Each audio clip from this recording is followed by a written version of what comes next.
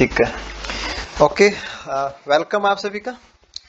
और देखिए, हमारा जो टेस्ट सीरीज़ धमाका हमने स्टार्ट किया था, उसमें स्पेशली बायोलॉजी का चाहे कोई सा भी एग्ज़ाम रहे, जैसे कि आप लोग प्रिपेयर कर रहे हैं फ़र्स्ट ग्रेड बायोलॉजी का ये हो, चाहे सेकंड ग्रेड का सेक्शन हो, या एंट्रेंस एग्ज़ाम हो, यानी कि ऑलमोस्ट सभी प्रकार के कंपटीशन एग्ज़ाम्स के अंदर पर्टिकुलर सब्जेक्ट से जो क्वेश्चन आ सकते हैं, या बहुत अच्छा लेवल जिनका हम मान सकते हैं ना, उनको हमने इस सीरीज़ के अंदर प्लेस करने की एक शानदार कोशिश की है।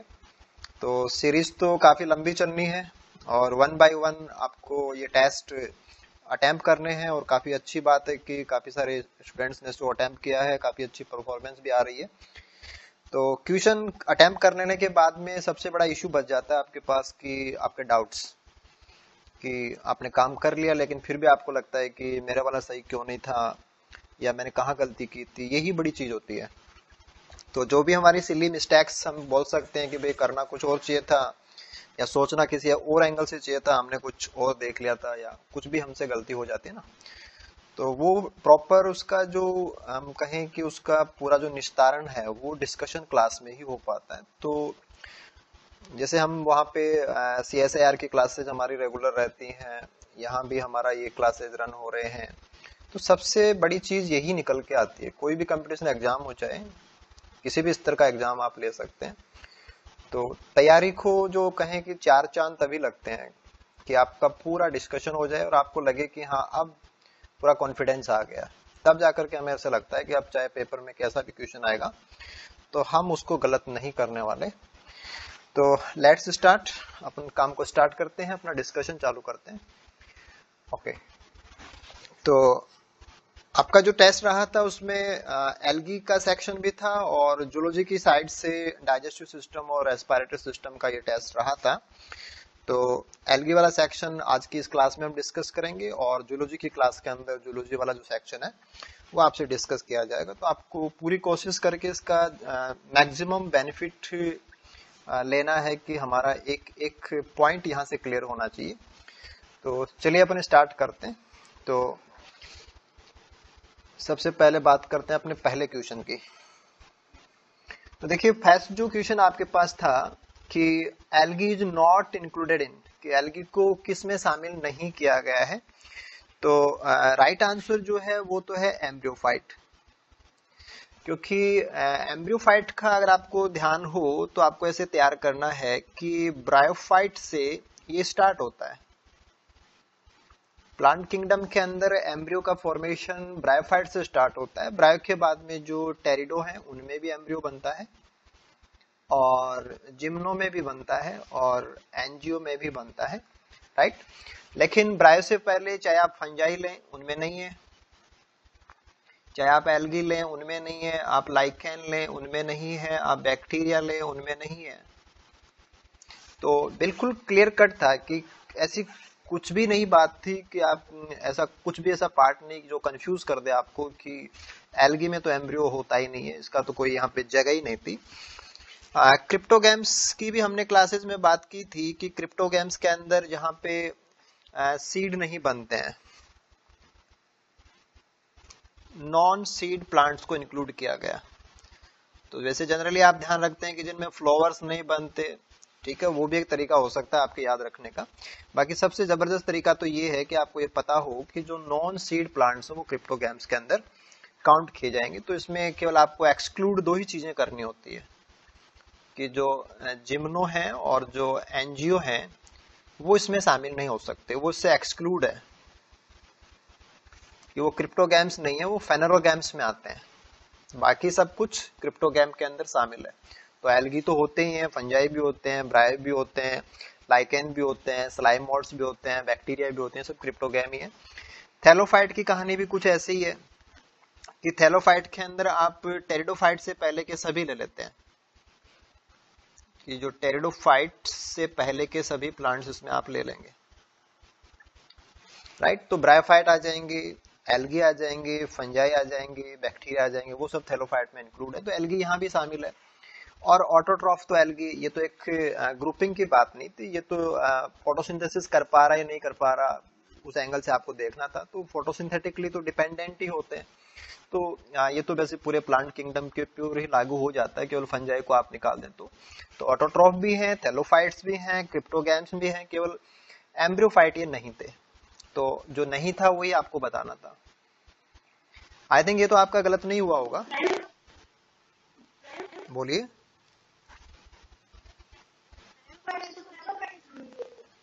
हाँ बिल्कुल। जड़ तना पत्ती में विभेदित नहीं होता है। जो डिफ नहीं, वो आप हायर ब्रायोफाइट्स में जाएँगे तो वो वहाँ पे आप ट्रू रूट्स नहीं बोलते उनको। यानी कि टेरिडो लैंड प्लांट्स लैंड हैबिट से स्टार्ट होगा।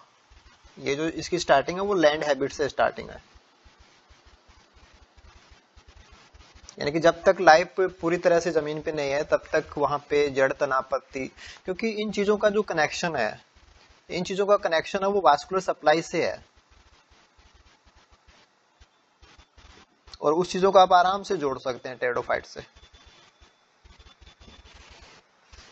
आई थिंक ये गलत नहीं हुआ होगा आप लोगों का? ठीक है, चलिए आगे चलते हैं। देखिए, यहाँ पे आपको बताना था कि which feature is common for algae and pteridophyte तो एल्गी और टेडोफाइट को कंपेयर करके बताना था कि ऐसा कौन सा फीचर है जो दोनों में कॉमन है मैच कर जाएगा। देखो प्लांट बॉडी ऑर्गेनाइजेशन को लेकर के बहुत बड़ा अंतर अभी कह रहे थे कि एल्गी के अंदर ये थैलोफिटिक है और टेडोफाइट के अंदर चले जाएँगे तो ये रूट स्टेम और लीफ ये सब इनमें है तो ये बात तो नहीं हो सकती। जो स्पोर फॉर्मेशन को देखें तो जूसपोर हमारे एलगी में तो बन जाएँगे, लेकिन यहाँ टेडोफाइट्स में नहीं बनते हैं तो यहाँ भी ये सिमिलर नहीं है। डोमिनेंट फ़ेज़ लाइफ साइकिल में कौन सी होती है? हालाँकि एलगी में तो हमने काफ़ी सारे प्रकार के अल्टरनेशन ऑफ़ जनरेशन पढ़े हैं, ठीक है, वहाँ पे आपको हैप्लोइड थैलस भी मिलता है डिप्लोइड भी मिलता है, लेकिन मेनली यानी कि पूरे ग्रुप एलगी पूरे ग्रुप को एक साथ देखें तो मोस्टली यहाँ पे हैप्लोइड ही होते हैं। मोस्टली यहाँ पे हैप्लोइड होते हैं और टेडोफाइट के अंदर स्पोर बनते हैं। तो स्पोर स्पोरेंजिया में बनते हैं, वहाँ पे स्पोर मदर सेल होती है और वो फिर प्लांट के ऊपर जो कौन बनते हैं स्ट्रोबिलाई बनते हैं, उनमें बनते हैं। तो मैन बॉडी वहाँ पे डिप्लॉयड ही होती है। तो एज ए ग्रुप देखें तो एल्गी हैप्लॉयड है और टेडोफाइट है, वो डिप्लॉयड है। तो ये भी नहीं हो सकता। मोर्टेलिटी ऑफ़ मेल गैमिट कि जो मेल गैमिट्स हैं, उनके पास मोमेंट है, ये बहुत सही बात है। कि चाहे आप किसी का भी ले लीजिए, किसी का भी मतलब एलगी का ले लीजिए, फंजाई के ले लीजिए, ब्रायो के ले लीजिए, टेरिडो के ले लीजिए। और इवन जब आप जिम्नो में चले जाते हैं इवन जब आप जिम्नो में चले जाते हैं तो ओनली साइकेडेल्स को ले लीजिए। जिसमें कि आप साइकस और जिंगा इनको लेते हैं और इनके लिए तो आप कई बार लिविंग फोसिल जैसी बातें भी करते हैं कि उनके जो मैल गैमिट उनके ऊपर फ्रेजिला पाए जाते हैं सीलिया बैंड पाए जाते हैं। तो मोर्टेलिटी यहाँ तक है। इसके बाद में मोर्टलिटी नहीं है। साइकस वगैरह के अंदर सूडो साइफोनोगेमी आने लग जाती है। सूडो साइफोनोगेमी आ जाती है और एंजियोस्पर्म के अंदर तो साइफोनोगेमी आ जाती है। तो जहाँ पे मेल गैमिट को एक ट्यूब से पहुँचाने पहुँचाने की व्यवस्था हो जाती है, पोलन ट्यूब बनने लग जाती है तो फिर मेल गैमिट चलना बंद कर देते हैं। तो मोर्टेलिटी वहाँ तक है, जहाँ तक साइफोनोगेमी नहीं आई है तो वो चीज़ आपको एलगी में भी मिलती है, फंजाई में भी है, ब्राय में भी है, टेरिडो में भी है। हाँ इस चीज़ को लेकर के एलगी और टेरिडो बिल्कुल सेम है। तो राइट आंसर क्या रहेगा आपका? Mortality of the male gametes I think clear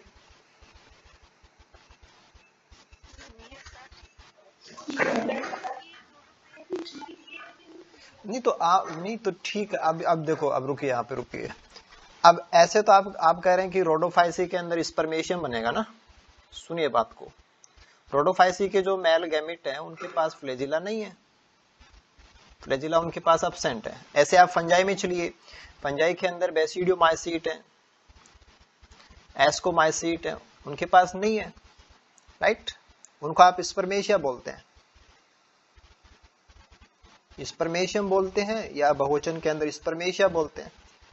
तो वो तो एक्सेप्शनल है, पूरे पूरे ग्रुप में ही नहीं होता, ऐसा नहीं है।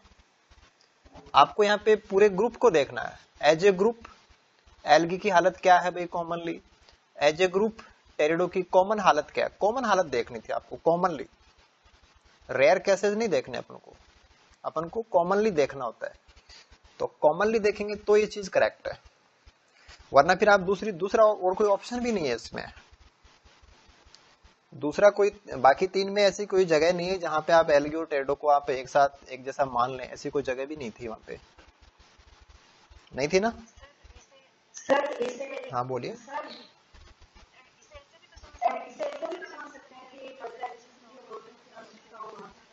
देखो तरीका तो यही होता है कि भाई फ्लेजिला क्यों जब तैरने की व्यवस्था ही नहीं है तो तैरने वाली स्ट्रक्चर क्यों? तो डिपेंडेंसी तो पानी पे ही तो है ना, कि वाटर के ऊपर डिपेंड है फर्टिलाइजेशन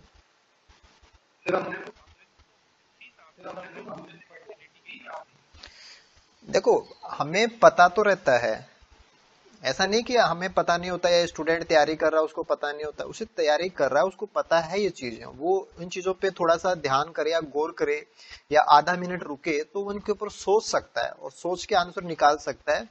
लेकिन ये कि जब हम ऐसी चीज़ों को एक दो बार देख लेते हैं, या ऐसे क्वेश्चन को एक दो बार कर लेते हैं, या ऐसे आइडिया हमारे क्लियर हो जाते हैं तो फिर अगली बार हम धोखा नहीं खा सकते। ये बड़ा इशू होता है कि आपने पहली बार अटेम्प्ट किया, अगर सही हो जाता तो बहुत ही अच्छी बात थी। गलत हो गया तो इसमें कोई बुरा नहीं है। हाँ अब आपने समझ लिया और फिर आप दोबारा से गलत कर दें। भाई, आपको यही क्वेश्चन अगर बाद में रिवाइज करके या किसी दूसरे फॉर्मेट में मिले और फिर आप गलत कर रहे हो, इसका मतलब आपने पिछले दो महीने में, चार महीने में जो पढ़ा, वो तो ज़ीरो हो गया ना? कि एलगे के हिसाब से तो ज़ीरो हो गया तो वो नहीं करना अपन को। देखो, मैं तो आप, मैं तो आपको ये सजेस्ट करूँगा कि आप इस टेस्ट का जो डिस्कशन फ़ाइल है, ये जैसे आपके साथ शेयर हो जाएगा। उसके बाद में आप कोई नोटबुक डाल लीजिए या इनका प्रिंट निकाल लीजिए, कोई भी आपका तरीका हो तो उसमें मैन मैन चीज़ें आप ज़रूर से छांटो। क्योंकि यहाँ हर हर क्वेश्चन आपके लिए, ऐसे माने कि हर क्वेश्चन आपके लिए भगवान जैसा होता है। कि अगर वो क्वेश्चन आपका सही हो रहा है, इसका मतलब आपको नंबर देखे जा रहा हो। और हमें नंबर ही चाहिए सिलेक्शन के लिए।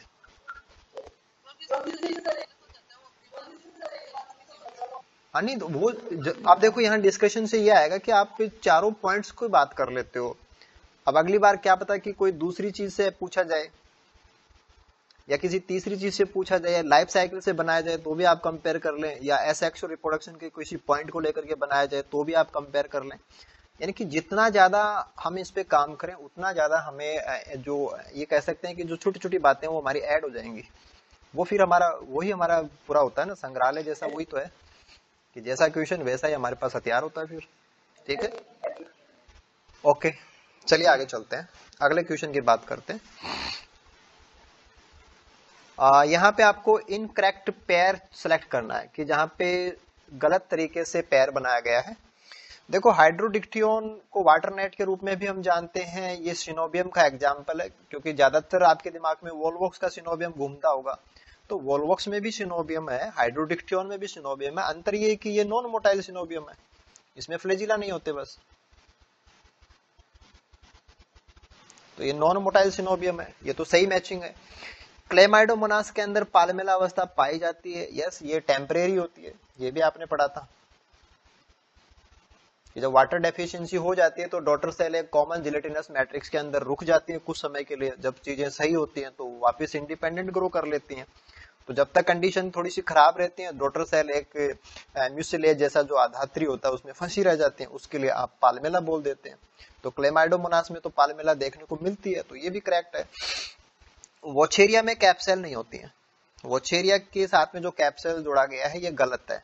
क्यों गलत है? क्योंकि जो कैप्सेल है, वो उडोगोनिया में पाई जाती हैं। वोचेरिया को तो आप ज़्यादातर ध्यान रखते हैं सीनोसिटिक के एंगल से। किसमें सेप्टा नहीं पाए जाते। तो सीनोसिटिक कंडीशन के एंगल से वोचेरिया सही था, लेकिन आपको यहाँ कैप सेल से जोड़ के बताया गया तो ये तो गलत मैचिंग है। यही आपको चाहिए थी। एक्टोकार्पस के अंदर हेट्रोट्राइकस थैलस पाया जाता है, यस, उसके अंदर इरेक्ट सिस्टम और प्रोस्टेट सिस्टम, ये दोनों पाए जाते हैं। तो ये बात भी सही थी। तो केवल यहाँ पे वोचेरिया और कैपसेल यानी कि आपको दो चीज़ें, अब ऐसे क्वेश्चन में फ़ायदा क्या होता है कि आपको दो दो चीज़ें ध्यान रखनी पड़ती हैं। कि आपको हाइड्रोडिक्टियोन भी ध्यान में हो और आपको सिनोबियम भी जानते हो। आप क्लेमाइडोमोनास के बारे में भी जानते हो और पालमेला के बारे में भी जानते हो। अब आपको कैप सेल किसमें होते हैं, ये भी पता हो और वोचेरिया में होती है कि नहीं होती, ये भी पता हो। तब आप कर पाते हैं। तो ऐसे क्वेश्चन ज़्यादा फ़ायदा पहुंचाते हैं। आई थिंक ठीक है।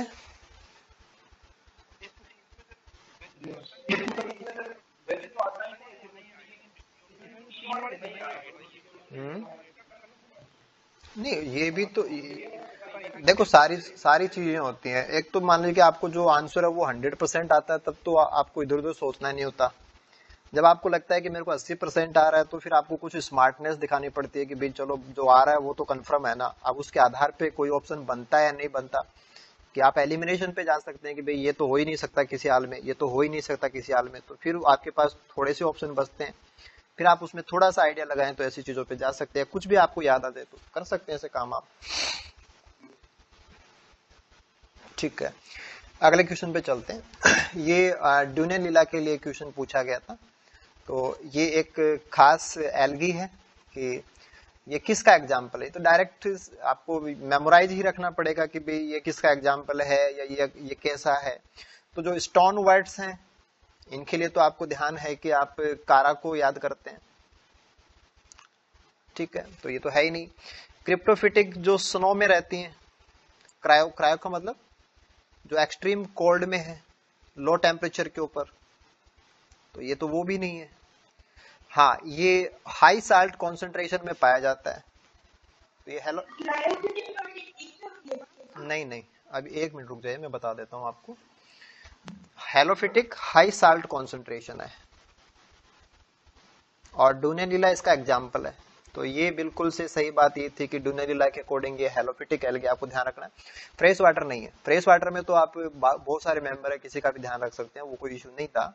हाँ अभी हम बात कर लेते हैं कि एक तो आप कह रहे हैं कि क्रिप्टो, समझना बात को। एक आप लिखते हैं क्रायो, ठीक है? क्रायो का मतलब होता है कोल्ड या लो टेम्परेचर। जैसे आप आप बायोटेक में कहते हैं क्रायो प्रिजर्वेशन, ठीक है? तो क्रायो को क्रायो प्रिजर्वेशन से जोड़ लो। अब आप नहीं भूल सकते कि क्रायो और क्रायो प्रिजर्वेशन, ये तो सेम ही बातें हैं। तो वहाँ पे हम लिक्विड नाइट्रोजन के अंदर चीज़ों को स्टोर करते हैं। वो क्या है? एक्सट्रीम लो टेम्परेचर होता है। क्रिप्टो क्रिप्टो का मतलब क्या होता है कि जैसे कोई क्रिप्ट हो गया, जैसे आपके पास कोई पेन ड्राइव था उसमें कोई फ़ाइल थी, वो क्रिप्ट हो गई। इसका मतलब क्या है? वो फ़ाइल तो है, लेकिन दिख नहीं रही आपको। भाई आपने कोई फ़ाइल थी, वो पेन ड्राइव में डाली, और ये फ़ाइल अब क्रिप्ट हो गई। अब आपको ये शो नहीं होती। अब आप उसको ओपन करते हो तो ओपन नहीं होती। तो क्रिप्टो का मतलब क्या है कि है तो सही लेकिन दिखता नहीं है। यानी कि छिपना या कोई चीज़ छिप गई हो, ऐसा कुछ है। तो जो छिपे हुए हैं, छिपे हुए का मतलब क्या हुआ? यानी कि जैसे आपने कहा कि ये सॉइल सरफेस है और कोई एलगी अगर इसके नीचे है तो वो क्रिप्टो है। वो कैसा है? क्रिप्टो जैसे आपने कहा क्रिप्टो गैम्स तो क्रिप्टो गैम्स में भाई लाइफ साइकिल तो रोटेट होती है, कुछ ना कुछ तो बनता ही होगा, लेकिन वो दिखता नहीं है। तो आप कहते हैं कि उसमें स्पोर बनते हैं या उसके अंदर जो स्ट्रक्चर बनते हैं, वो ऐसे रिप्रोडक्शन से बिलोंग करती है तो बहुत छोटी होती है सीड जैसा कुछ होता नहीं है। तो होने को तो सब है लाइफ में, लेकिन हमें जितना आराम से बाकी पौधों में दिखता है हर प्लांट्स में वैसा उनमें नहीं दिखता। तो हम कहते हैं कि भाई, जो भी है वो दिख तो रहा नहीं है तो आप उसके लिए क्रिप्टो वर्ड यूज़ करते हैं हिडन क्रिप्टो की सही इंग्लिश में लें तो क्या हम यूज़ कर सकते हैं? हिडन कंडीशन है। तो क्रिप्टो का मतलब जो सॉइल सरफेस के नीचे है, वो क्रिप्टो है। और जो एक्सट्रीम कोल्ड का कनेक्शन है, वो क्रायो से है। ठीक है ना? आई थिंक कोई इश्यू नहीं होना चाहिए क्लियर है, नैन? किसकी? हाँ नहीं, सेलाइना तो वैसे ही जोड़ दिया आपने। कि जो सेलाइन कंडीशन होती है, वो क्या होती है? हाई साल्ट तो होती है।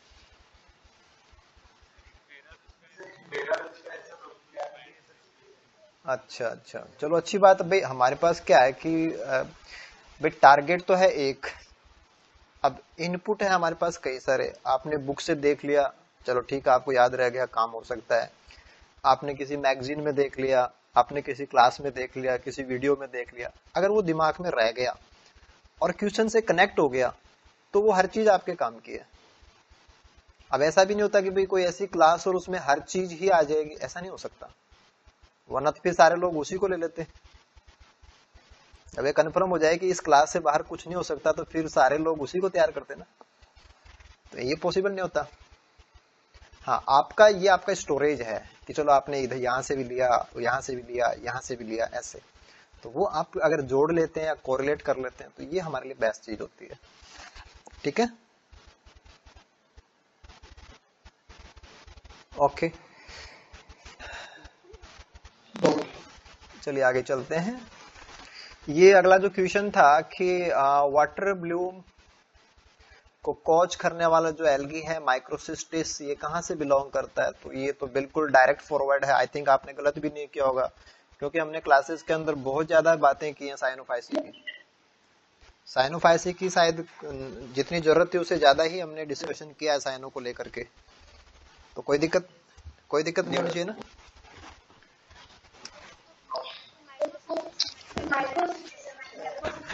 नहीं तो ये तो हमारी क्लास में डिस्कस हुआ था कि मैक्रो और माइक्रो आप लोगों ने पूछा था, आप में से किसी ने पूछा था कि मैक्रो और माइक्रो हाँ ये चीज़ हाँ उसने पूछी थी। ये ये फ्यू ये फ्यू का मामला था। हाँ। कोई दिक्कत नहीं है प्रैक्टिस कर रहे हैं आप लोग तो प्रैक्टिस से ये सारी चीज़ें इंप्रूव हो जाती हैं, सारे जितने भी ये मान लो कि माइनस माइनस है ना छोटे छोटे से ये सब हट जाएँगे, ये सब प्लस में कन्वर्ट हो जाएँगे। और अब ये दोबारा ये क्वेश्चन था कि what is wrong about Vaucheria तो वोचेरिया को लेकर के गलत बात क्या है? तो वोचेरिया कोई कॉलोनी नहीं बनाता है। ठीक है ना? इंडिपेंडेंट इसका फिलामेंट होता है ट्यूब लाइक होता है साइफोन एलिस से बिलोंग करता है ना ये। तो ये कुछ ऐसा सा इसका आप स्ट्रक्चर ध्यान रखते हैं और नीचे ये अपने सबस्टेटम को होल्ड फास्ट से पकड़ के रखता है। और इसमें खूब सारे न्यूक्लियाई ऐसे सीनोसिटिक प्रेजेंट होते हैं। तो अगर आपको ऐसा पिक्चर भी ध्यान रह जाए तो बस आपका काम तो हो गया राइट कॉलोनी तो बनाता नहीं है इंडिविजुअल थैलस होता है इसका। ठीक है ना? ये अकेला थैलस है। इंडिविजुअल थैलस है ये। नो कॉलोनी फॉर्मेशन तो रॉन्ग बात ढूंढनी थी। देखो सीनोसिटिक होता है। यस ये सीनोसिटिक होता है। टेरिस्टियल एलगी है यस ये टेरिस्टियल है सोइल सरफेस के ऊपर आराम से ग्रो करते हैं। और सिन जूस्पोर फॉर्मेशन यस इसमें जो जूस्पोर बनेगा, उसमें खूब सारे न्यूक्लियाई होते हैं और यहाँ पे खूब सारे फ्लेजिला होते हैं। तो सिन जूस्पोर की फॉर्मेशन इसमें होती है। आप कहते हैं सिनोसिटिक कंडीशन वो एरिया में होती है। क्या ये सोइल पे ग्रो करता है? यस ये करता है। इसका दूसरा भाई जो सोइल पे ग्रो करता है, उसमें आप नो स्टॉक को भी याद रख सकते हैं। वो साइनो बैक्टीरिया हालाँकि, लेकिन सोइल पे ग्रो करने के हिसाब से तो दोनों ही करते हैं। हाँ लेकिन कॉलोनी नहीं बनाता। अब कॉलोनी नहीं बनाता, वो चीज़ आपको इससे याद रहेगी। अगर आपको ऐसा पिक्चर दिमाग में है कि भाई वो चेरिया ऐसा दिखता है, ऐसी कोई कॉलोनी तो आपने देखी नहीं तो आप इसको कर देंगे आराम से। गलत तो नहीं हुआ था?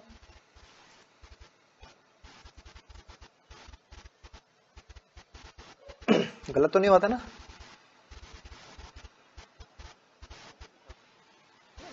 अच्छा गलत था क्या? हाँ तो क्या आपने क्या गलती की थी इसमें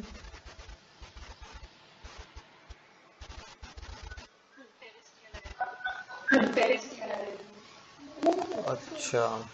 चलो, कोई बात नहीं, अब आप आगे ध्यान रखेंगे ना इनको। ठीक है।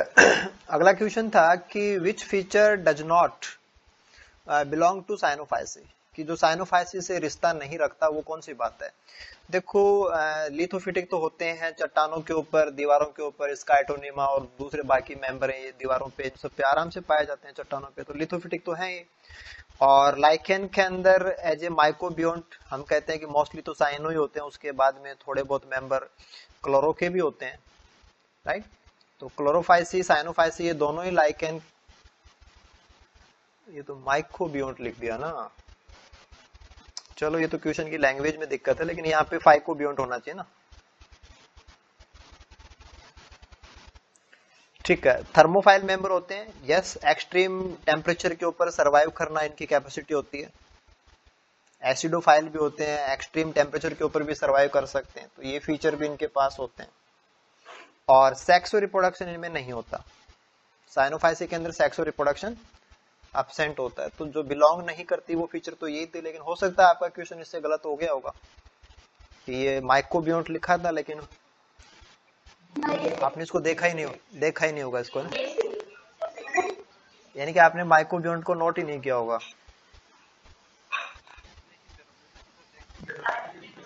स्किप मार दिया इसको ना? नहीं, मैंने भी क्वेश्चन बनाया तो मेरे भी दिमाग में नहीं रहा, क्योंकि साइनोफाइस या लाइकेन लिखते हैं तो माइकोबियोट फाइकोबियोट ऐसे नाम आते हैं बार बार तो अभी आजकल हमारा क्लास फंजाई का चल रहा है तो फंजाई के हिसाब से माइकोबियोट दिमाग में आ गया होगा तो वो लिख भी दिया। और आप लोगों ने कर भी दिया, लेकिन अब डिस्कशन में पता लगा कि चलो यहाँ गलती थी तो प्रॉपर फ़ाइल में सुधार देंगे इसको। राइट चलो ठीक है, आपका क्वेश्चन ये गलत नहीं होना चाहिए, क्योंकि साइनोफाइसी में सेक्सुअल रिप्रोडक्शन नहीं है। ये तो सिंपल सी बात थी, ठीक है। Choose the correct pair algae के लिए बिल्कुल सही बात क्या है, वो आपको सिलेक्ट करनी है करेक्ट पेयर तो लिथोफाइट जो होते हैं, वो सॉइल सरफेस के ऊपर यस सॉइल सरफेस के ऊपर कह सकते हैं रॉक के ऊपर कह सकते हैं, दीवारों के ऊपर कह सकते हैं। यानी कि जो सबस्ट्रेटम हो और जो सॉलिड सबस्ट्रेटम हो, उसके लिए लिथोवाइड यूज़ कर सकते हैं तो सही पेयर है।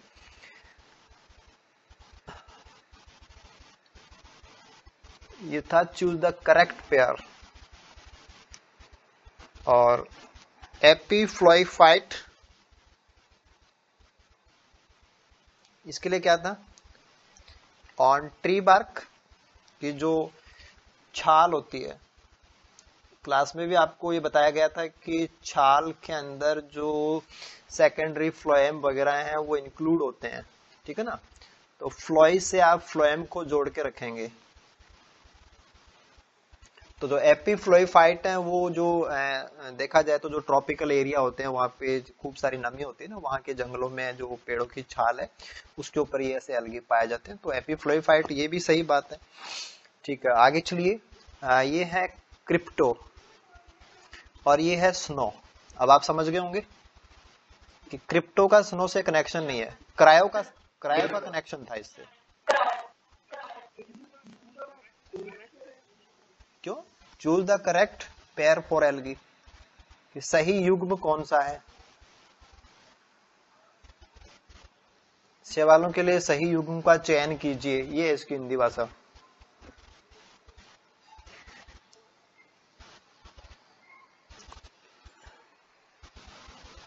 और ये था आपका saprophytic saprophytic on intertidal rocks ये भी गलत है। क्योंकि सेपोफिटिक कौन होते हैं? सेपोफिटिक वो होते हैं जो सॉइल पे ग्रो करते हैं। सॉइल सरफेस के ऊपर ग्रो करने वाले। वो सेपोफिटिक कहलाते हैं। सेप्रोफिटिक एलगी नहीं होते हैं। अगर आप एलगी की बात कर रहे हो तो एलगी में सेप्रो वर्ड नहीं यूज़ हो सकता। हाँ एलगी में पैरासिटिक वर्ड यूज़ हो सकता है। पैरासिटिक के तो एग्ज़ाम्पल भी है। तो इंटरटाइडल रॉक्स यानी कि जहाँ पे ज्वार भाटा आता है, वहाँ की चट्टानों के ऊपर जो होते हैं, उनको तो आप बैंथोस बोलते हो। क्या नाम होता है उनके लिए? बैंथोस। तो ये भी गलत पैर है। ठीक है? क्रिप्टोफिटिक ऑन स्नो सरफेस ये भी गलत पैर है। राइट और एपीफ्लोइफाइट ये ट्री बार्क ये बिल्कुल सही है। और लिथोफिटिक तो आप इसमें थोड़ा सा इनके बीच में कंपेयर करते हैं। तो आप सोयल को एलिमिनेट कर लीजिए कि आप सोयल को मत यूज़ कीजिए, क्योंकि लिथो में से भी आपने कैटेगरी सेपो यूज़ कर ली। तो नॉर्मली आप लिथो को रोक के लिए लेते हैं तो उसके अकॉर्डिंग देखें तो ये भी गलत है। बट ये किसी हाल में गलत नहीं हो सकता। एपीफ्लोइफाइट और बार्क अगर आपको दे दिया तो ये हर हाल में सही है। तो बाकी को कहीं ना कहीं किसी न किसी एंगल के ऊपर आपको गलत साबित करना ही था तो आप कर सकते हैं। तो जो चीज़ यहाँ पे आपको करेक्ट पेयर में सेलेक्ट करनी थी, वो आपके पास रह जाएगा। ऑप्शन नंबर टू ये किन का गलत हुआ था? ठीक है कोई दिक्कत नहीं है ना? हाँ क्योंकि वो तो फिर आपको क्रिप्टो और क्रायो उसमें अभी दिक्कत भी रहती है, उससे हो रहा होगा कोई दिक्कत नहीं है ना? ठीक है I think this is the question number nine कि स्यूडो ब्रांचिंग पूछी आपसे ना। आभासी साखन जो आभासी साखन जो होता है। तो ये तो हमारी जो बहुत शुरू की क्लासेस थी उसमें हमने बात किया था जब हम थैलस ऑर्गेनाइजेशन को पढ़ रहे थे। तो बोट्रेको uh, स्पर्मम देखो इसको आप याद रखते हैं हेट्रोट्राइकस हैबिट के लिए। Right right? उडोगोनियम की अभी आपने बात की थी फ्रेश वाटर एलगी है आ, इसमें आपने कहा कि कैप सेल पाई जाती हैं फिर इसके अंदर नैनेंड्रियम भी पाया जाता है तो इसकी बातें कुछ अलग हैं। इसमें सूडो ब्रांचिंग का कोई कनेक्शन नहीं है तो अनब्रांच फिलामेंट होता है इसका। अनब्रांच फिलामेंट है इसके पास जिसमें कैप सेल पाई जाती हैं। ये हेट्रोट्राइकस है तो इसमें तो इरेक्ट और प्रोस्टेट दोनों ब्रांच पाई जाती हैं और ट्रू ब्रांच होती हैं इरेक्ट और हॉरिजॉन्टल दोनों प्रकार की ट्रू ब्रांचेज होती हैं इसके पास। तो ये भी फॉल्स ब्रांचिंग का तो कोई कनेक्शन ही नहीं था इससे तो। ठीक है क्लेडोफोरा के अंदर भी ब्रांच वेल ब्रांच्ड एल्गी है ये भी। हाँ स्काइटोनिमा की बात करें तो ये साइनोफाइसी का मेंबर है। और इसके अंदर आपको शूडो ब्रांचिंग देखने को मिलती है। कारण क्या था? कि इसके जो फिलामेंट होते हैं, वो फिलामेंट आपस में एक म्यूसिलेजनस मैट्रिक्स की वजह से इस प्रकार से लगे रहते हैं कि हमें लगता है कि जैसे कोई ब्रांच हो। तो स्यूडो ब्रांचिंग के पॉइंट ऑफ़ व्यू से जो सही है, वो कौन है? स्काइटोनिमा ठीक है?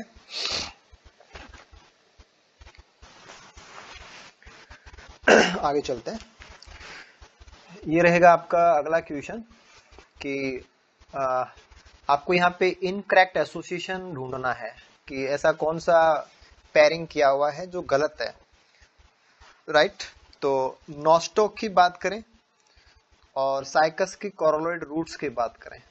तो साइकस की कोरोलोइड रूट्स के अंदर जो एनाबिना की स्पीसीज है एनाबिना साइकेडी वो पाई जाती है। तो नॉस्टोक नहीं है वहाँ पे। तो ये बात गलत है। एनाबीना एजोला जो कि टेरिडोफाइट है एजोला एक टेरिडोफाइट है, उसकी पत्तियों के अंदर एनाबीना प्रेजेंट है, ये भी सही बात है। नॉस्टॉक की कॉलोनी एंथोसिरोस के थैलस में एंथोसिरोस का जो थैलस होता है, उस थैलस में नीचे की साइड में कुछ म्यूसिलेजिनस कैविटी होती है और इन कैविटी के अंदर नॉस्टॉक के फिलामेंट प्रेजेंट होते हैं तो ये बात भी सही है। और एनाबिना साइकस की कॉर्लर रूट्स में है, यस, एनाबिना साइकेटी प्रेजेंट होता है। तो कंफ्यूजन तो केवल आपको इन्हीं को लेकर के था। यानी कि नॉस्टोक है या कौन है तो हालाँकि ठीक है भी चलो अभी हमने आपने ओनली एलगी ही पढ़ी है तो साइकस के रिगार्डिंग आपका कंफ्यूजन अगर है तो वो जायज़ भी है कि चलो आपको नहीं पता होगा, इसलिए आप ऐसी गलती कर सकते थे। लेकिन अब तो ध्यान रखें कि एनाबिना साइकेडी है, वो कॉर्नर रूट का जो मिडल कॉर्टेक्स होता है, उसकी सेल्स में पाई जाती है, ना कि नॉस्टॉक पाया जाता है। ठीक है? ओके चलिए अगले क्वेश्चन पे चलते हैं। तो which combination of algal group has similarity in their pigment system कि पिगमेंट्स का जो सिस्टम है, उसको लेकर के कौन से ग्रुप वाले सेम हैं? कि आपको एक ग्रुप दिया गया है और आपको पिगमेंट के हिसाब से देखना है कि वो सेम है या नहीं है। तो रेड एलगी में मेन पिगमेंट कौन है? बताना। नहीं मैन पिगमेंट ठीक है, वो आप कलर के हिसाब से बता रहे हैं। क्लोरोफिल के हिसाब से देखिए क्लोरोफिल मॉलिक्यूल क्लोरोफिल डी और ब्राउन एल्गी में? सी ठीक है ना? तो ये मैच नहीं कर रहा। कैल्प ये फ्यूफाइसी के हैं। इनमें कौन है? क्लोरोफिल ए और सी और डायटम्स में कौन है? क्लोरोफिल ए और सी ये मैच कर गया. डायटम्स में कौन है? अभी लिखा आपने ए और सी यूग्लिनोइड्स के अंदर कौन है? ए और बी ठीक है, ये मैच नहीं करेगा. कैल्प दोबारा से हुई है. ए और सी और ब्लू ग्रीन के अंदर नहीं है. ठीक है ना? क्लोरोफिल ए है, वहाँ पे फिर बैक्टीरियल क्लोरोफिल आ जाते हैं. ट्रू क्लोरोफिल नहीं होते हैं. तो ये तो मैच करने का मतलब ही नहीं है. राइट तो सिमिलरिटी के पॉइंट ऑफ़ व्यू से आपके पास आएगा कि कैल्प और डायटम्स ये एक अच्छा क्वेश्चन था।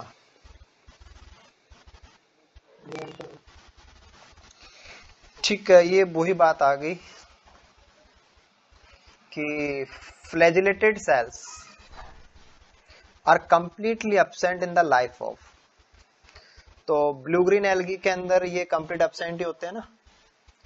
और रेड एलगी के अंदर ये कंप्लीट ही होते हैं तो ये दोनों ही इसके सही है, यानी कि both blue green and red algae और इसका यहाँ पे कोई मतलब नहीं है।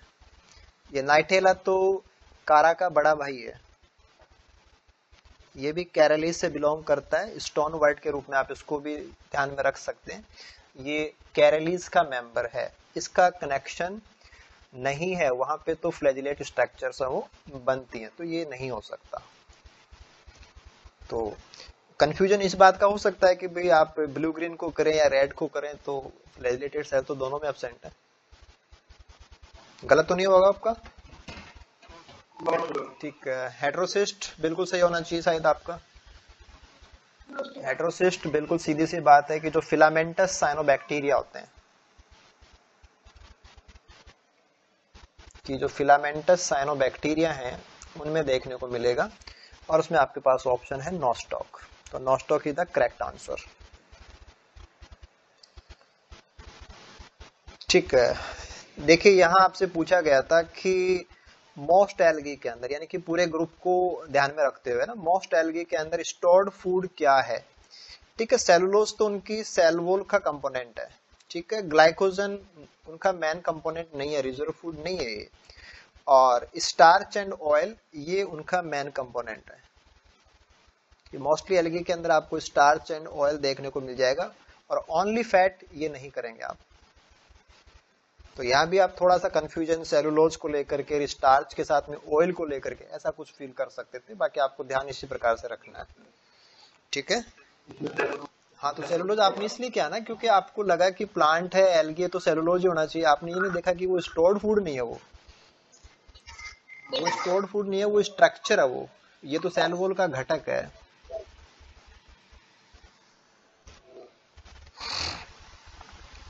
हम्म। ये भी बेहतरीन क्वेश्चन था। कि क्लेमाइडोस मोनास के पॉइंट ऑफ़ व्यू से देखिए reduction division take place at the time of कि रिडक्शन डिवीज़न कब होता है? तो रिडक्शन डिवीज़न के दौरान जो मेल एंड फीमेल गैमिट है, वो जुड़ करके जायगोट बना देंगे। और जायगोट जब जर्मिनेट करता है तो उसके बाद में रिडक्शन डिवीज़न वहाँ होता है। क्योंकि जो मैन हम क्लेमाइडोमोनास की बात करते हैं तो वो कैसा है? हैप्लोइड है। तो आप जायगोट से हैप्लोइड बनाना चाहते हैं, ठीक है? वैसे याद रखने की कोई ज़रूरत नहीं है। आप ऐसे ध्यान में रखें कि क्लेमाइडोमोनास की जो सेल होती है, वो हैप्लोइड है। और हैप्लोइड है तो फिर आप वैसे भी ध्यान रख सकते हैं कि इसकी लाइफ साइकिल कैसी होगी? हैप्लॉन्टिक होगी। और हैप्लॉन्टिक होती है तो उसमें केवल जायगोट एक ऐसी स्ट्रक्चर होती है जो टू एन को रिप्रेजेंट करती है। और वो जब वापिस सेल को बनाएगी तो रिडक्शन डिवीज़न के बिना तो ऐसा हो ही नहीं सकता। तो रिडक्शन डिवीज़न कहा होगा? जब जायगोट जर्मिनेट कर रहा है। जायगोट जर्मिनेशन ठीक है?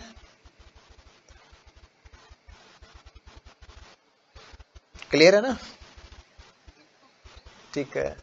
यहाँ तो कोई दिक्कत ही नहीं थी कह रही है तो बहुत सिंपल लेवल का रह गया था क्वेश्चन क्योंकि देखो पेपर में ज़रूरी होता है कि कुछ क्वेश्चन इतने आसान भी होने चाहिए कि ऐसा भी नहीं कि भाई स्टूडेंट को लगे कि यार, मेरे सारे क्वेश्चन गलत हो गए।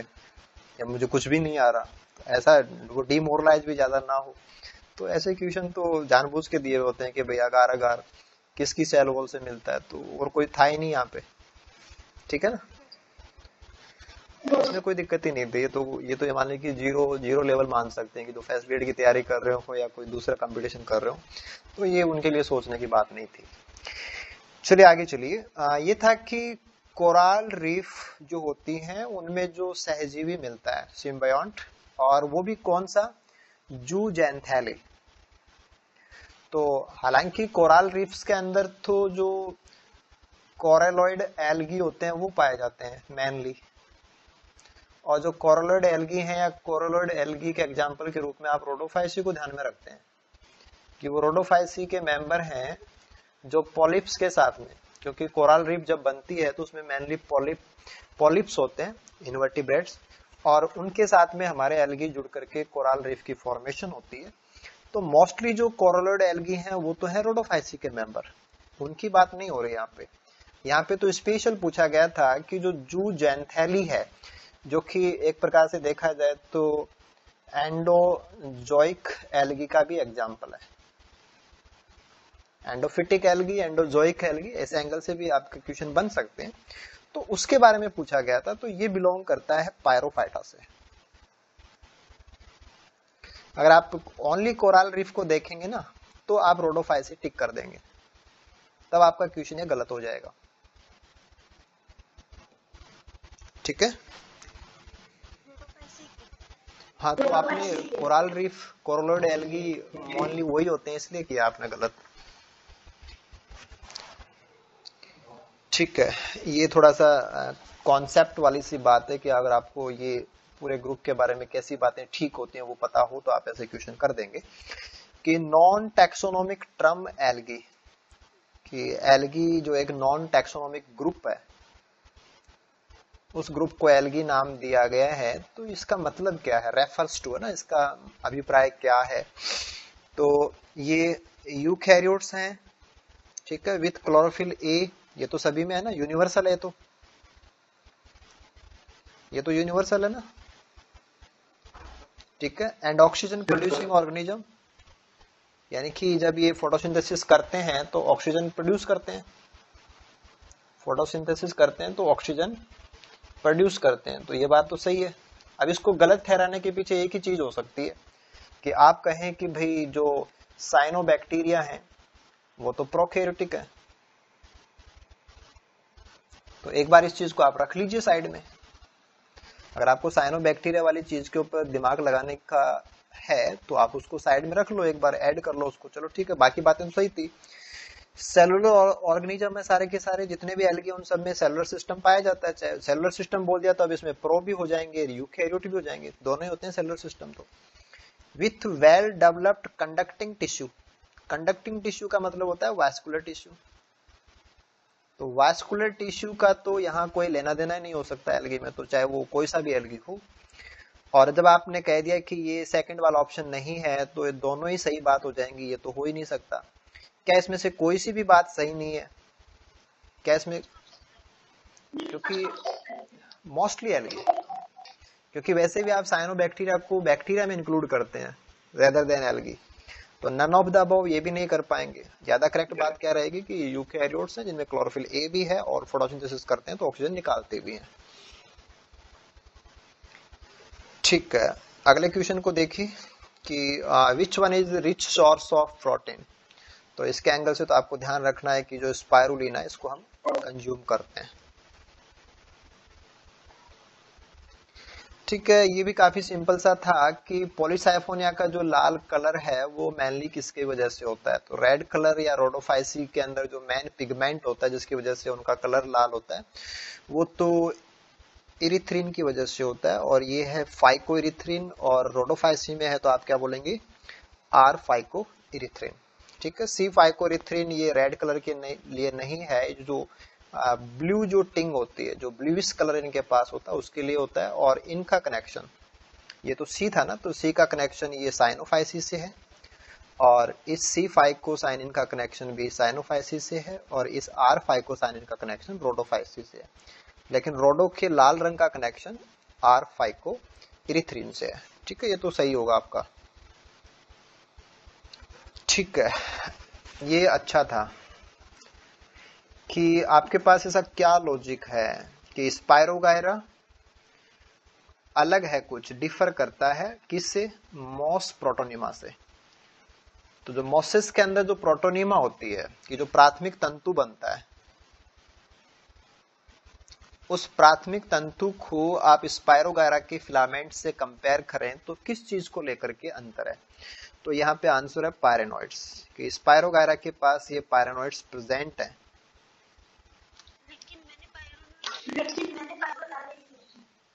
क्यों?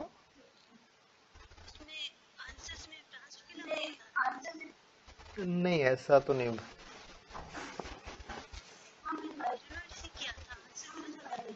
अच्छा ऐसा था क्या?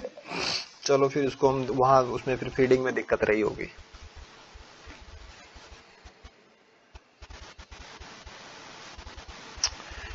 ठीक है, चलो ये तो कोई नहीं है ना। वैसे तो आपका वैसे इश्यू नहीं होना चाहिए क्वेश्चन के अंदर।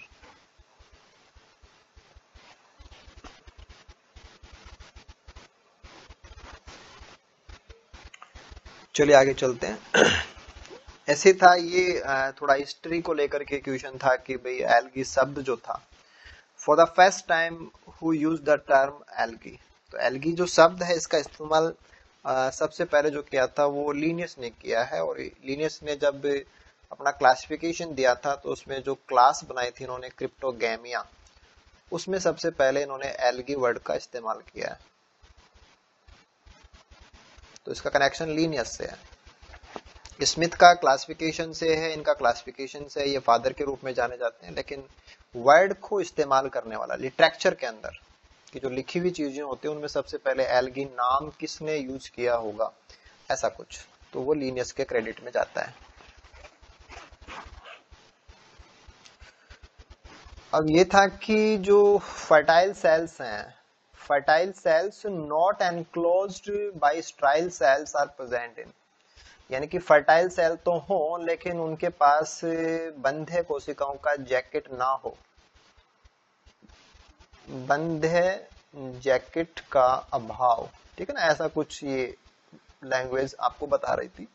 तो ये मामला थेलोफाइट का होता है। स्पर्मेटोफाइट के अंदर आप किनको लेते हैं? कौन से पौधे आते हैं spermatophyte seed seed bearing plant seed plants आते हैं। तो एनजियो और जिम्नो दोनों आ जाएँगे। ठीक है टेरिडोफाइट टेरिडोफाइट के अंदर तो पाया जाता है। और ओनली ब्रायोफाइट इसको नहीं कर पाएँगे। तो करेक्टली जो है, ज़्यादा करेक्ट जो है कि not enclose by sterile cells इसमें आप एलगी फंजा यानी कि मोस्टली को ध्यान में रख के कहें तो थैलोफाइट आपके पास। क्योंकि हालाँकि देखा जाए तो जो ब्रायोफाइट है, वो इसके तो पार्ट है। तो आप ओनली ब्रायोफाइट को करते हैं, इसका मतलब बाकी सब में तो पाए जाते हैं तो आप, आपका आंसर क्या कहेगा कि एलगी में तो पाए जाते हैं, लेकिन इसलिए गलत हो जाएगा वो। तो थैलोफाइट एक बड़ा ग्रुप है उसके सभी मेंबर्स के अंदर ये चीज़ नहीं होती है। ठीक है?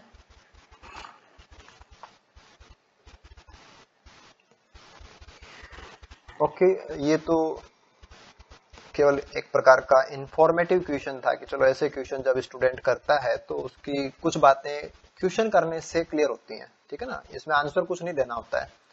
कि ऐसा कौन सा करेक्टर या एक से ज़्यादा करेक्टर है जो थैलोफाइटा के पास है ना? तो प्लांट बॉडी थैलोइड ही होती है उनकी राइट वास्कुलर सिस्टम नहीं पाया जाता, ये भी सही बात है। Unicellular sex organs without jacket said ये भी सही बात है। तो ये सारे ही सही बात होगी ना। तो ये चीज़ें तो चलो ठीक है, ये तो सिंपल सी बात थी, लेकिन अपसेंस ऑफ़ वास्कुलर सिस्टम ये थैलोफाइटा से कनेक्ट करें तो भाई आपको टेरिडो से बाहर ही रखने होते हैं। तो आप इसको ध्यान में रख सकते हैं।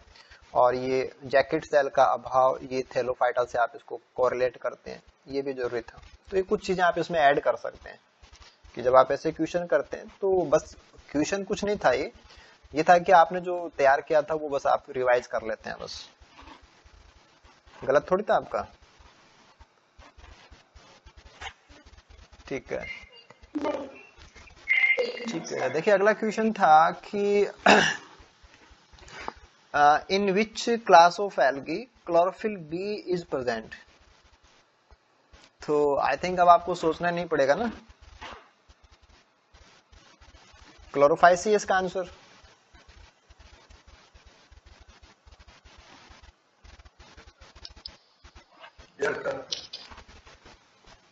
यानी कि दो तीन बार ऐसे काम हो जाते हैं तो फिर ऐसा लगता है कि बस अब दिक्कत नहीं रहने वाली है ना, ऐसा ही।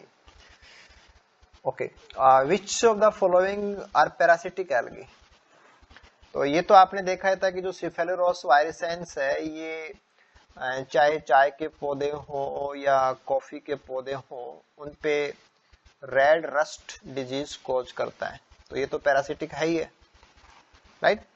इसी प्रकार से ये दूसरा एलगी है, ये गलत लिखा हुआ था this is Harveyella Y है ये।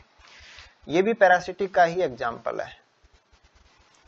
लेकिन ये पैरासिटिक किस पे होता है? ये रोडोफाइसी के मेंबर्स के ऊपर पैरासाइट है।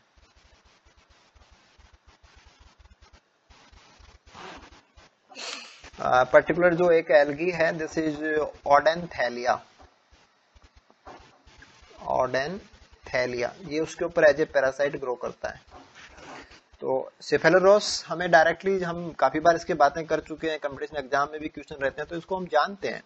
इसको भी अपन ऐड कर लें कि चलो ये भी सामने आए तो इस बार अपने ध्यान रहना चाहिए कि ये भी एक पैरासिटिक का एग्ज़ाम्पल है। तो दोनों ही पैरासिटिक एग्ज़ाम्पल है। यस और नन ऑफ़ द अबाउ को तो करने का ऑप्शन ही नहीं था क्योंकि इससे पहले रोज तो था ही ना आपके पास। क्या बोल रहे हो? ला। आई थिंक क्लोरोफाइसी का ही रहना चाहिए। बट ये रोडोफाइसी के जो मेंबर्स हैं, उनके ऊपर एज ए पैरासाइट ग्रो करता है और स्पेशली जो रेड एलगी है, इसके ऊपर ये देखने को मिलता है।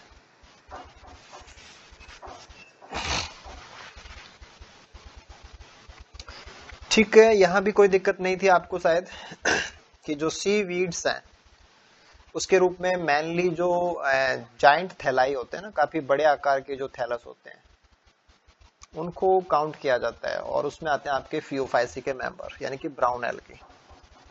ठीक है?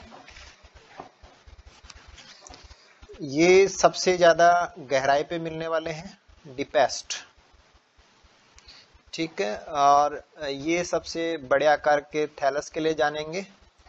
ये मोस्टली फ्रेश वाटर के लिए जाने जाएँगे। और ये वाटर ब्लूम के लिए जाने जाएँगे।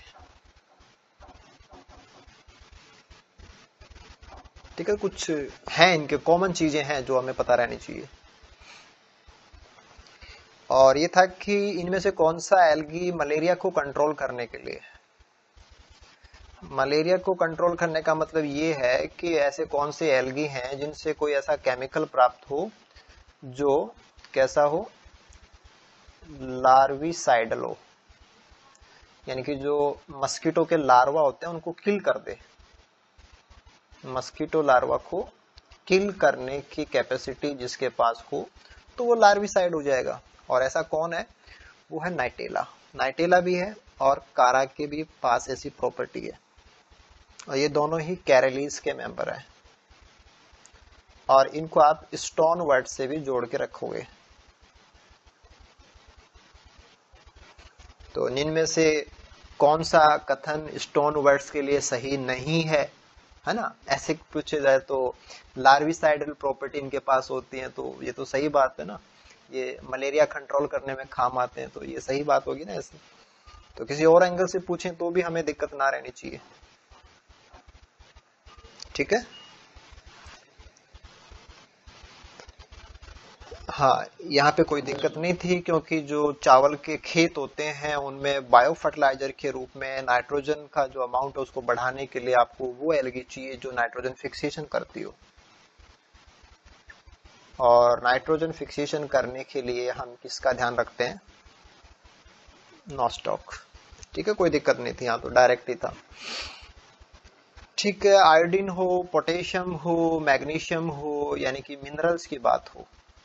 तो मिनरल्स का जो अमाउंट है वो सबसे ज़्यादा आपको कहा देखने को मिलता है? They are seaweeds Phaeophyceae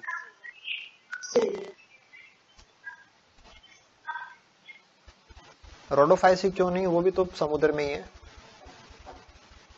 Rhodophyceae क्यों नहीं? डेफ में रहते हैं तो समुद्र तो वहाँ भी है। डेप्थ में रहते हैं, ये ये भी बात थी, कभी उनको निकालना मुश्किल हो गया। ऐसी बात क्या? एक उनके थैलस छोटे हैं। थैलस स्मॉल है ना बिग थोड़ी है उनके जाइंट थोड़ी है। तो जब आपको प्राप्त करने की बात हो कि आपको कोई प्रोडक्ट चाहिए तो आपको कितना सारा कलेक्ट करना पड़ेगा? ये ज़्यादा करने पड़ेंगे। और यहाँ कुछ एक थैलस में ही आपको खूब सारा आयोडीन और खूब सारा पोटेशियम मिल जाएगा।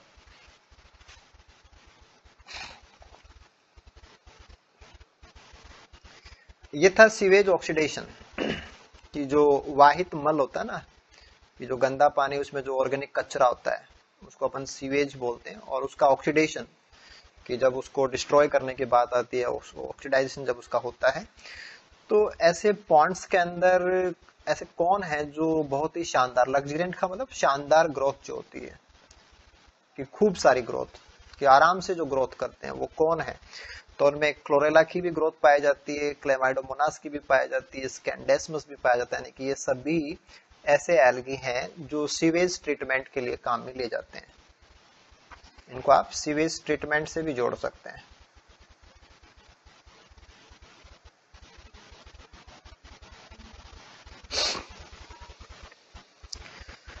इसी प्रकार से था कि which algae is used in biological research कि रिसर्च के पॉइंट ऑफ़ व्यू से और बायोलॉजिकल रिसर्च के पॉइंट ऑफ़ व्यू से कौन सा एल्गी इस्तेमाल होता है। तो जो जेनेटिक स्टडीज़ होते हैं न्यूक्लियस को लेकर के जो स्टडीज़ होती हैं या क्रोमोजोम्स को लेकर के जो स्टडीज़ होती हैं, जिनको अपन जेनेटिक स्टडीज़ बोलते हैं, उनमें एसिटाबुलेरिया इस्तेमाल होता है। क्लोरेला को अपन जो फिजियोलॉजिकल स्टडीज़ होती हैं मोस्टली जो फोटोसिंथेटिक है, ऐसे स्टडीज़ में हम इसको यूज़ करते हैं। वेलोनिया जो है, ये single cell single cell green algae है। और इसका जो आकार है, वो काफ़ी बड़ा होता है फुटबॉल की तरह होता है, काफ़ी बड़ा आकार होता है। और इसको अपन बबल एलगी के नाम से भी जानते हैं। इसका दूसरा नाम बबल एलगी भी है। तो इसके पास काफ़ी बड़ी एक ही कोशिका होती है, वो काफ़ी बड़ी होती है। जाइंट सेल है और सिंगल सेल है तो काफ़ी बड़ी कोशिका है और एक ही कोशिका है और इतनी बड़ी है कि इसको आप एक बबल के रूप में देख सकते हैं, ठीक है? तो कारण क्या था कि इसका जो मेम्ब्रेन है, उस मेम्ब्रेन को काम में लिया जाता है परमिएबिलिटी स्टडीज़ के लिए। कि कोई भी आयन है मॉलिक्यूल है, वो मेम्ब्रेन के आर पार जाता है या नहीं जाता या उसके बारे में हमें स्टडीज़ करनी हो तो मेम्ब्रेन ट्रांसपोर्ट को लेकर के जो स्टडीज़ होती हैं। मेम्ब्रेन ट्रांसपोर्ट उन स्टडीज़ के लिए ये सिस्टम करेक्ट सिस्टम है क्योंकि इसके पास बहुत बड़ी मेम्ब्रेन है और काफ़ी बड़ा इसका स्पेस है। और ज़्यादा सेल भी नहीं है, एक ही सेल का है तो एक ही सेल वो भी बड़ी सारी और उसकी मेम्ब्रेन यानी कि कितनी बड़ी दीवार हो गई उसके पास तो वो आराम से हम यूज़ करते हैं मेम्ब्रेन ट्रांसपोर्ट संबंधी अध्ययन के लिए। तो तीनों ही काम में आते हैं। तो ऑल ऑफ़ दिस ये करेक्ट आंसर हो जाएगा। आई थिंक आपको वेलोनिया के लिए थोड़ा बहुत कंफ्यूजन रहा होगा।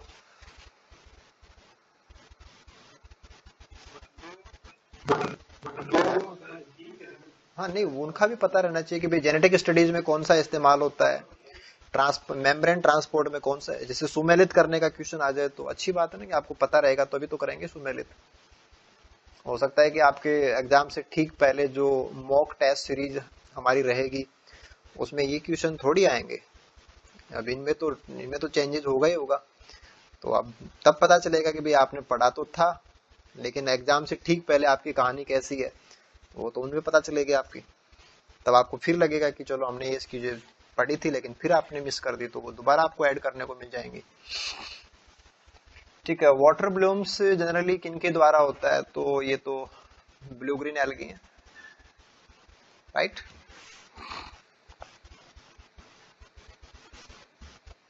पायरेनोइड्स क्या हैं? तो ये तो संचित भोज्य पदार्थ का एक रूप है कि जो एक्स्ट्रा फोटोसिंथेट होते हैं ना, उनको जमा कर देती है कोशिका। और जमा करने का एक तरीका होता है कि सेंटर के अंदर तो प्रोटीन होती है और उसके बाहर कार्बोहाइड्रेट की परतें होती हैं। तो प्रोटीन बॉडीज हैं और सराउंडेड बाय स्टार्च प्लेट ठीक है, बाकी लैंग्वेज गलत थी कि स्टार बॉडी स्टार्च की बॉडीज है, चारों तरफ़ प्रोटीन है, ऐसा नहीं है। Starch body surrounded by oil तो ये गलत है। Protein body surrounded by oil गलत है। तो सेंटर में प्रोटीन है। प्रोटीन का कोर है ये। और बाहर कार्बोहाइड्रेट की परतें हैं, यानी कि स्टार्च है।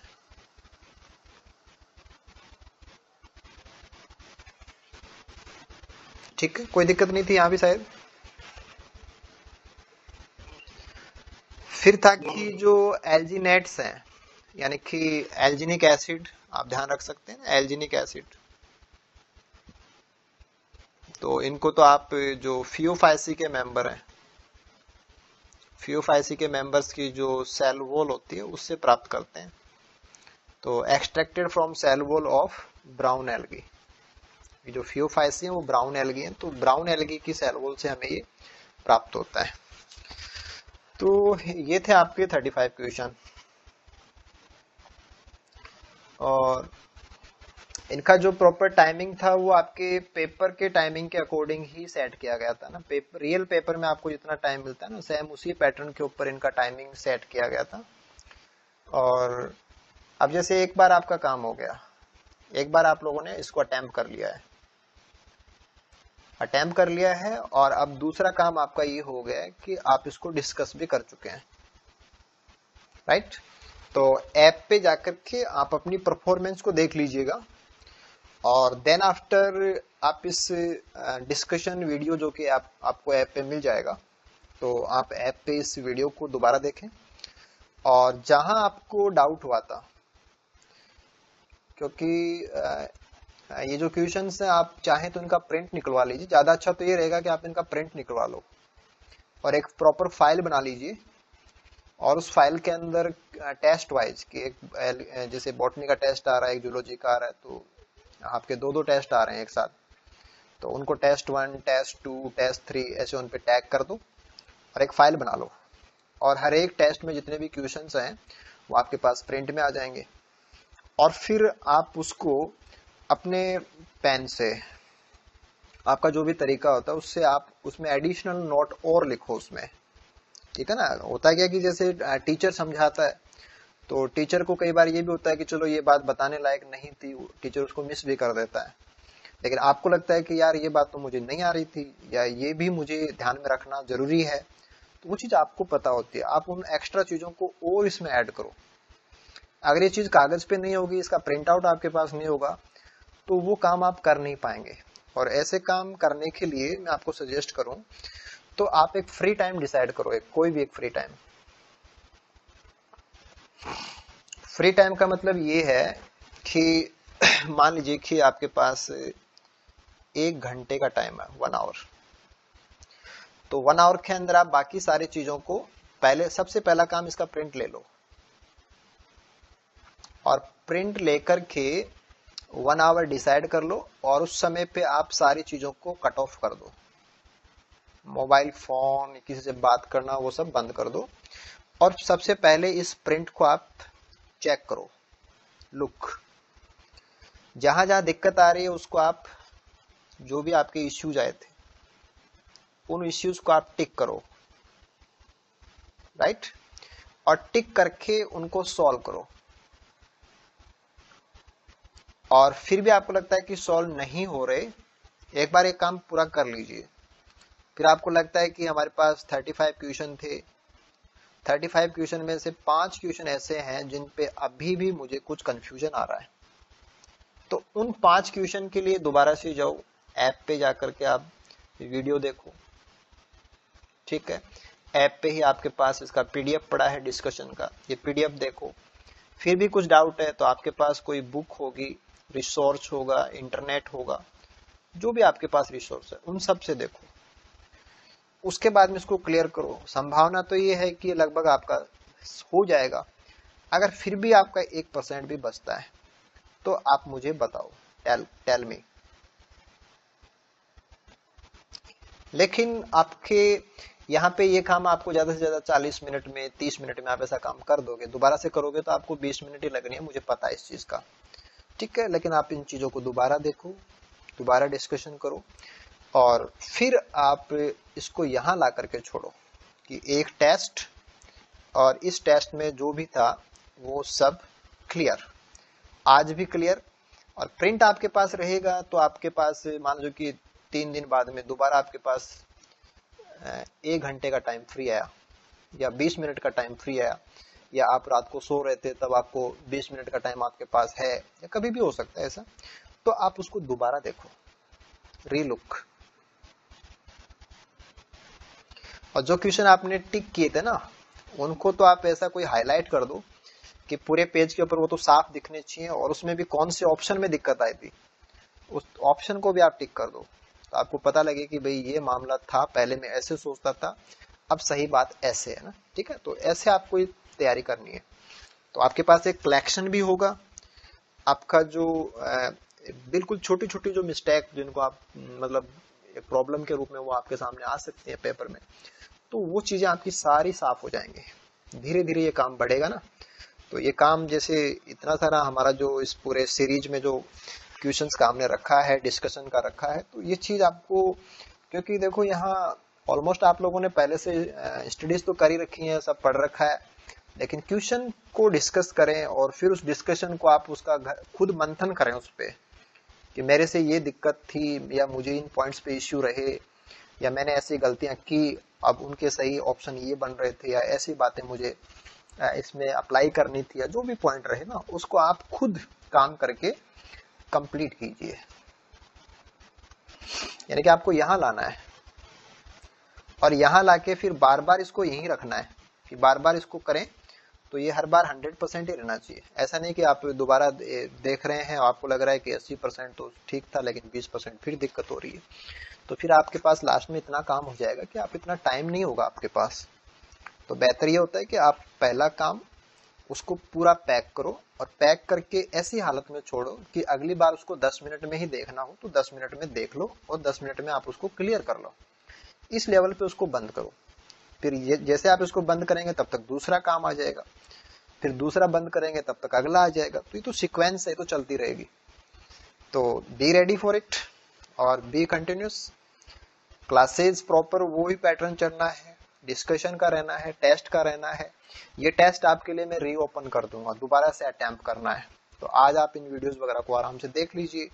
फिर इसको मैं दोबारा से ओपन कर देंगे। आप इसको री अटेम्प्ट कीजिए।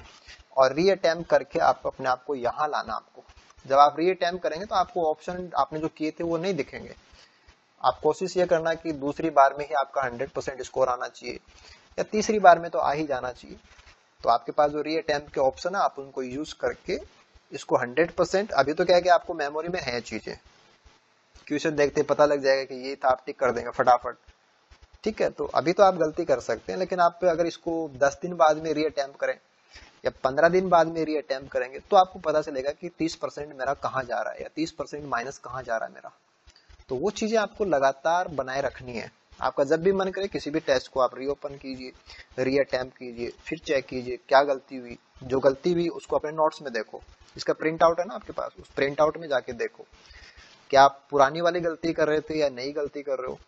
तो एक फिक्स शेड्यूल कर दो कि भाई मेरा एक घंटा या मेरा एक पर्टिकुलर ये टाइम है। इस टाइम में मुझे यही काम करने हैं डेली ऐसा कुछ।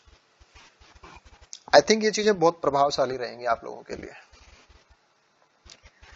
देखो ये काफ़ी एक पास्ट एक्सपीरियंस है, ये तजुर्बा है कि भाई हम लोग इतने टाइम से नेट वाले बच्चों के साथ काम कर रहे हैं और वहाँ तो लेवल भी बहुत अच्छे रहने वाले होते हैं। यहाँ तो आपके डायरेक्ट क्वेश्चन आते हैं, केवल मेमोरी बेस्ड बातें होती हैं। तो ये तो बहुत आसान है, ऐसा नहीं है, ये बहुत टफ नहीं है। आपको छोटी छोटी बातें अगर आपको कैच रह जाएँगी ना तो फिर दिक्कत ही नहीं आनी है। आप खुद इन सारी प्रोसेस के बाद में जो एग्ज़ाम से पहले आप खुद से बात करेंगे तो आपको फील होगा ये चीज़ें कि आप में मतलब बाकी स्टूडेंट्स की तुलना में कितना डिफरेंस है आप में। वो आना चाहिए। और वो आप आज से काम करोगे तो आएगा। ठीक है? ना, बिल्कुल इसी पे ये चीज़ें बड़ी नहीं होती है। आप इसका प्रिंट लीजिए आप ठीक है, आप इसका पे कीजिए, शॉप से ले लीजिए और कोई ऑप्शन है वहाँ से ले लीजिए। बट ये चीज़ स्टोर कीजिए और स्टोर करके उस पर काम कीजिए। काम करके उसको फिनिश कीजिए। और जब फिनिश हो जाए ना उसके बाद उसको रिपीट मोड में चालू करिए। ठीक है?